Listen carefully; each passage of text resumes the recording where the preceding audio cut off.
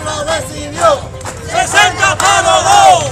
El pueblo decidió 60 para los dos. Cientos de residentes en el municipio de Castillo se concentraron este domingo y recorrieron varias calles de esta localidad para exigir justicia por la muerte del joven Kelvin José Santos Rodríguez, muerto a tiros en centro de servicios de la carretera Pimentel Castillo. Bueno, que la muerte de mi hijo no se quede impune. Eso es como han pasado muchos casos que se han quedado así.